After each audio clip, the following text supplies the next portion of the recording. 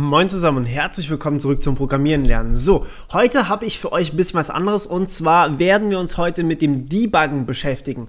Debugging ist äh, einfach eine Notwendigkeit, da kommt man nicht drum rum, weil in jedem Code wird es immer Bugs geben. Bugs bedeutet irgendwelche Fehler, irgendwas läuft nicht richtig, irgendwas geht schief und irgendwas ähm, möchte nicht so, wie ihr das wollt und deswegen muss ich euch jetzt heute leider an einer konkreten Sprache zeigen, wie man debuggt. Das Ding ist eigentlich nicht auf eine Sprache zugelegt, sondern normalerweise immer auf die IDE, das heißt eure Entwicklungsumgebung. Und leider kann ich natürlich, wenn ich keine richtige Programmiersprache benutze, euch nicht zeigen, was passiert, wenn ich eine Programmiersprache ausführe. Deswegen werden wir jetzt hier ganz kurz ein bisschen Python benutzen, aber wir haben ja auch schon Java-Code gelesen. Also ihr seht, es funktioniert wirklich alles so, wie wir es hier machen. Es gibt auch wirklich diese Parallelen. Man muss eigentlich nicht mehr wirklich viel äh, dazu lernen, wenn man das Ganze gesehen hat mal. Und ja, wir wollen uns heute damit beschäftigen. Wenn ich hier auf Ausführen drücke, dann wird eben auch dieser Code ausgeführt.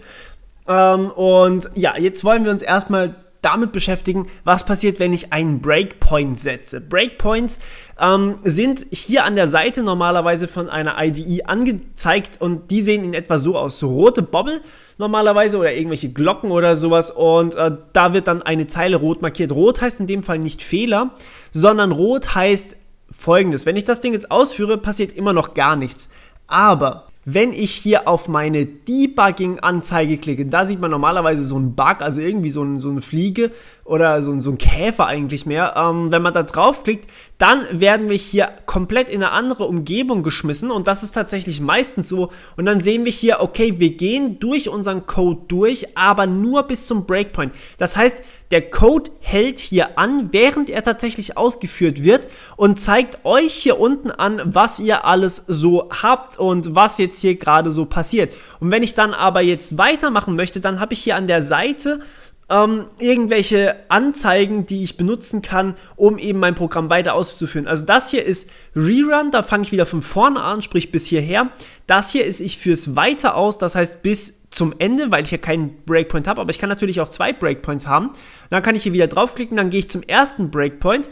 Dann sehen wir hier alle, dazu kommen wir gleich. Ähm, dann kann ich hier weitergehen zum nächsten Breakpoint, kann wieder von vorne anfangen, kann nochmal weitergehen, kann hier terminieren. Das heißt, ich brich meine Ausführung von meinem Code wirklich ab.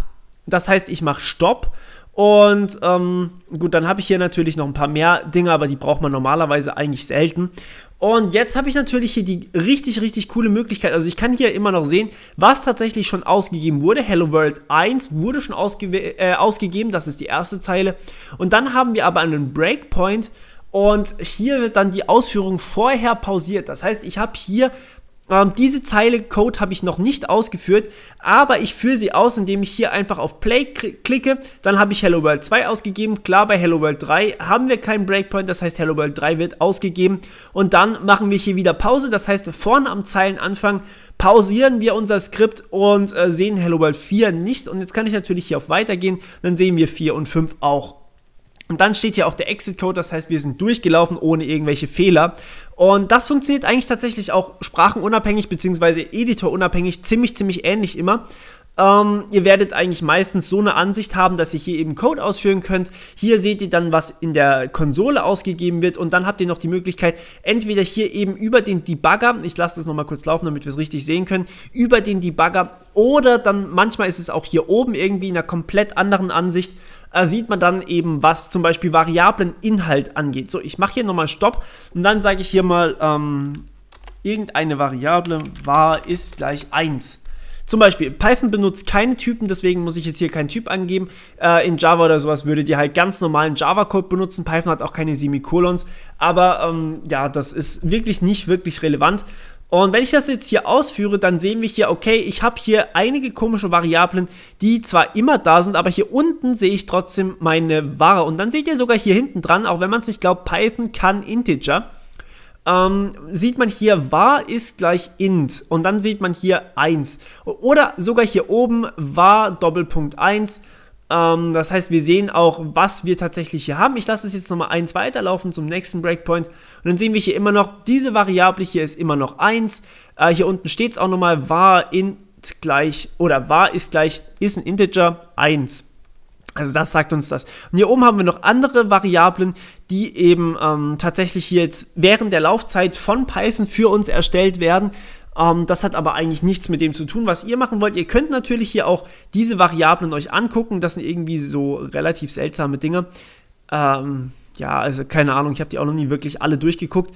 Ähm, muss man auch, glaube ich, nicht machen. Hier sehen wir natürlich auch, welche Datei wir gerade am Laufen haben. Das kann man auch jederzeit übrigens abfragen. Also wenn ihr sagt, if Bodenstrich, Bodenstrich File gleich, äh, gleich, gleich hier diesen, und das ist auch wieder ein String, dann sieht man hier auch immer den Typ vorne dran und so weiter und so fort. Okay, also das ist Debugging, das ist relativ mächtig und ich würde euch da immer empfehlen, dass ihr irgendwie, wenn ihr irgendwelche Schwierigkeiten habt, mit diesen Breakpoints wirklich arbeitet in einer richtigen IDE, denn das geht jetzt zum Beispiel nicht gut auf der Konsole.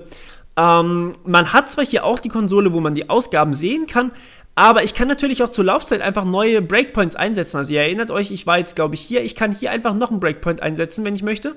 Okay, hier kann ich nicht, weil ich da keine Zeile Code habe. Aber hier kann ich auch nochmal einen machen. Ähm, wir hatten hier bis Hello World 3 ausgegeben sondern dass ich jetzt weiterlaufe und wir springen einfach zum nächsten Breakpoint, obwohl der gerade, als ich gestartet habe, noch nicht mal da war.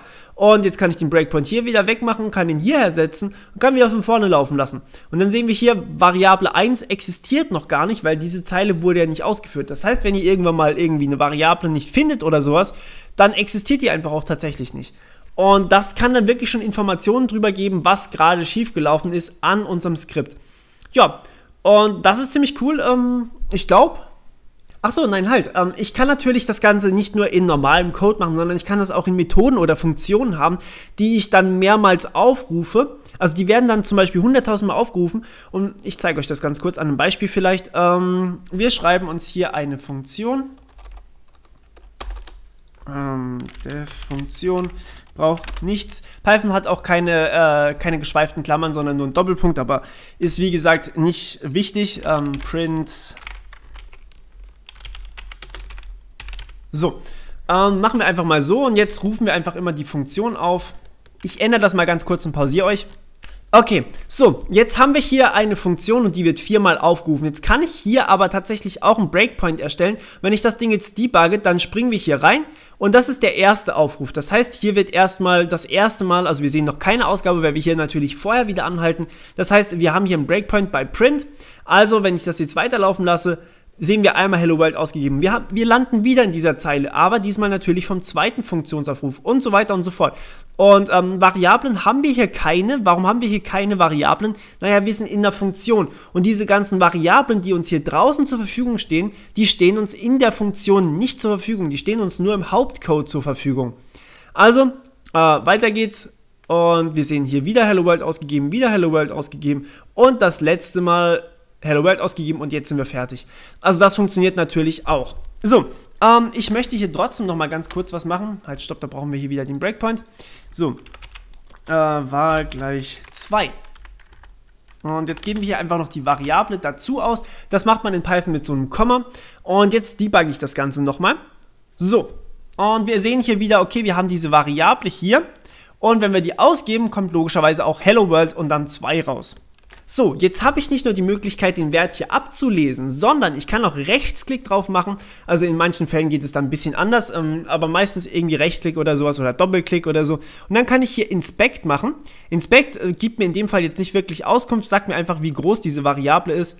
Ähm, ist jetzt auch nicht wirklich spannend, äh, falls ihr euch wundert, man kriegt das Fenster mit Escape wieder weg. Also, ähm, ja, und dann kann ich aber sogar hier zum Beispiel Sachen wie Set Value machen. Dann kann ich hier für meine Variable auch wirklich einen Wert setzen. Das heißt, ich kann zum Beispiel meine Variable auf 4 setzen. Dann sehen wir hier, hier oben steht jetzt plötzlich, Variable ist 4 und diese Farbe sagt mir, mh, hm, da hat sich was geändert, also ursprünglich war es was anderes. Und wenn ich jetzt mein Skript weiterlaufen lasse, dann wird hier plötzlich Hello World 4 ausgegeben. Das heißt, ich kann wirklich zur Laufzeit auch ein paar Variablen ändern und damit rumspielen. Das ist wirklich cool.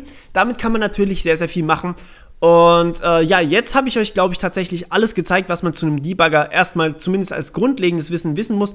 Ähm, wir können natürlich hier auch noch die ganzen Punkte ähm, über durchgehen, aber ich glaube, die sind selbsterklärend und ihr müsst die wirklich für jede IDE oder für jede Programmiersprache dann auch einfach mal ein bisschen durchlesen und ausprobieren, was passiert, wenn man da durchgeht.